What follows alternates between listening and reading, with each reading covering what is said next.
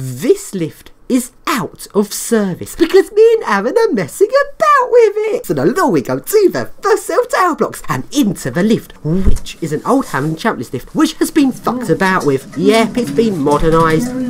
So then, this lift onto property service, and the message is really stupid. It goes, This lift is out of service under firefighters' control. This lift is out of service under firefighters' control. What a stupid message. First it's the incorrect message, and secondly, it's a bunch of two different messages. So stupid. So then, what should we do first? Let's surf it.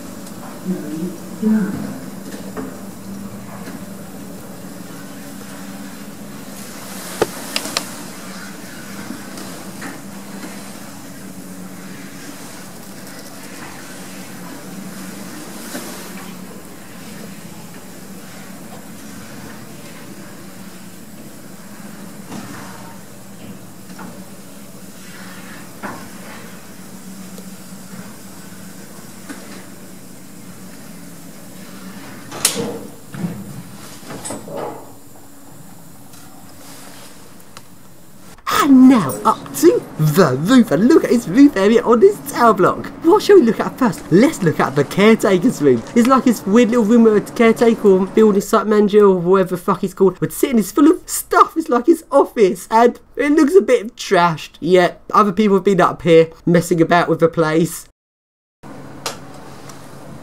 There's an old computer which also doesn't work here, nothing much works in here. So then out we go onto the roof and this is actually a really nice roof area. What shall we do first? Let's first go along to the ladder up to the scaffolding. So then go up on the scaffolding.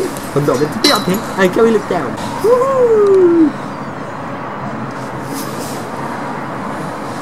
So then along we go into the tank room. And yep, it's got water tanks in it. And along we go to the other bit of scaffolding. Hello everyone, I'm on the scaffolding. And now,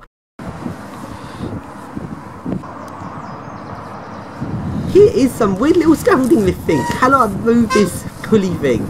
It doesn't really move that much. And now back down to the roof area and up I go onto the upper roof. There's no parapet up here.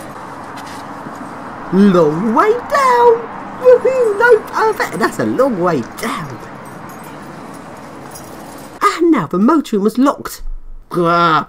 So there we go to the ground floor. Let's look around some of the various spooky bits on the ground floor of this tower.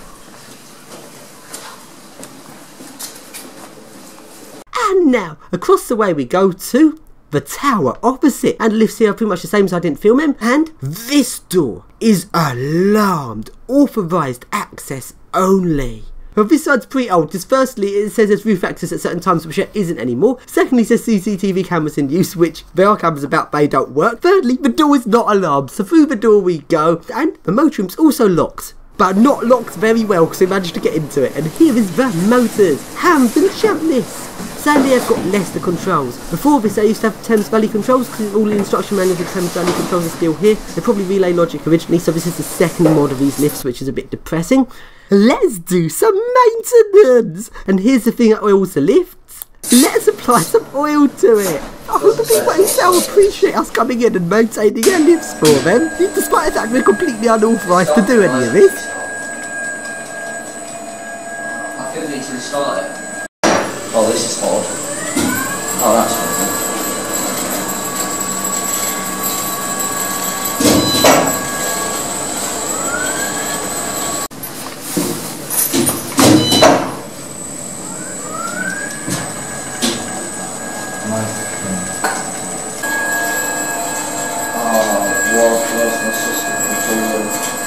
So then, here's Lester controls. Do I really need to show you Lester controls again? They all look very much the same. They are so shit. And there's a hatch down to the floor below. Hello, lift. Anyone waiting for the lift? No, better not be, because they'll see I'm up here. Close the P9, the one. And let's take a look at the caretaker's room in this tower. And here it is, looking very yucky.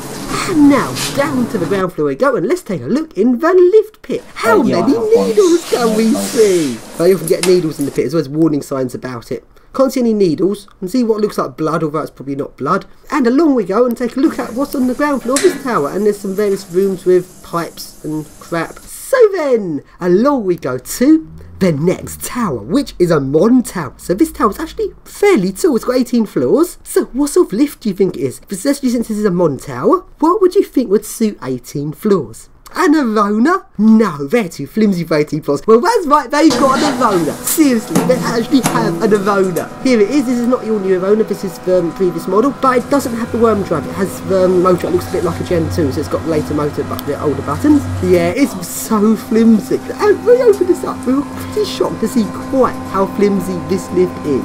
First of all, in the lift itself, there is no alarm. Both alarm buttons do not work. They don't make a phone call, and nor do they sound an actual alarm. That's absolutely ridiculous. No one would know if you got stuck in this lift. It's crazy. These lifts are so cheap. They are really bad. So then, open up the lift, and what joys do we get to see on top of it? A cheap, flimsy lift, and typical Orona car stop control with the go button not in between the up and down buttons, which is badly designed. And it is flimsy. The handrails on this lift just wobble all over the place. If you leant on it too much, they just fall off. And loads of wires. The engineers didn't do a very neat job here. It is pretty bad. And look at a 2 to 1 cabling, where the 2 to 1 cabling is attached to the top of the shaft. is attached so flimsily. I've never seen 2 to 1 cabling just so flimsily attached. It looks like it just fall down. This is so cheap. So then, let's take a ride on top of this lift at full speed, which is one and a half meters a second.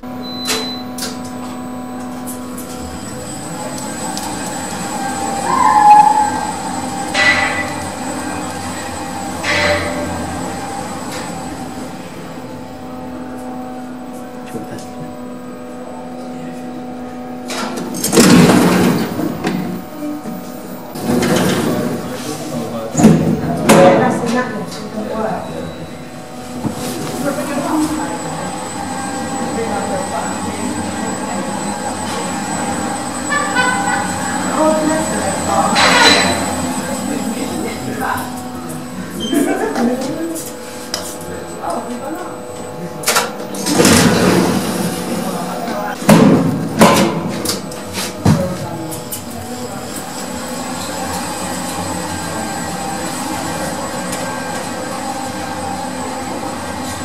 -hmm. you.